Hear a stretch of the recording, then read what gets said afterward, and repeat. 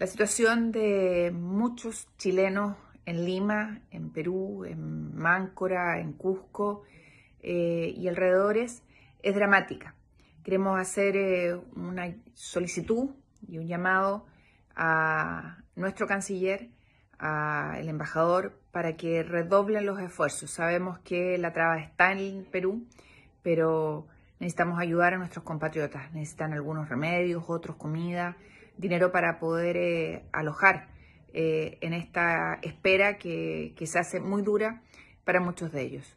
Y queremos pedirles que hagan un esfuerzo adicional y que si es necesario, obviamente veamos eh, con el Ejecutivo, con el Ministerio del Interior, la disponibilidad de fondos para ayudar a nuestros compatriotas.